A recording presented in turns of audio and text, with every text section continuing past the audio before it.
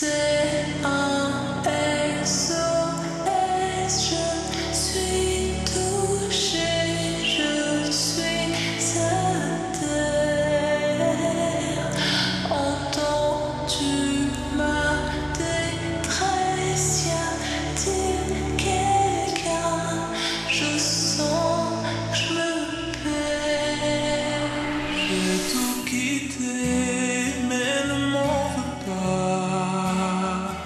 Fallait que je m'en aille, je n'étais plus moi.